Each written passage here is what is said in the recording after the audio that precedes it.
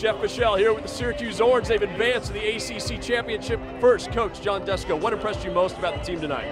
You know, I really liked our team defense tonight. I think Carolina's been scoring a lot of goals, especially in their wins against Notre Dame and before us, the two games before us. So to hold them to that many goals tonight was, uh, I think our defense did a nice job. And now you guys are headed for a chance for another ACC title. It's got to be an incredible accomplishment, at least to have that goal out there for you guys.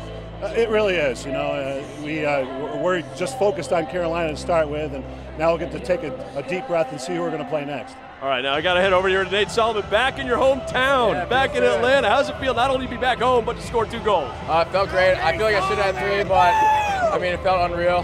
Houston's there, so it wasn't hard to run. You not only scored two, but it was your career high, so you really showed up for your home crowd. You got family here tonight, I take it? I got a ton of family, a ton of friends that came out to support me, so it's awesome. And I take it they're going to be back Sunday. I hope so. They will. I hope they will.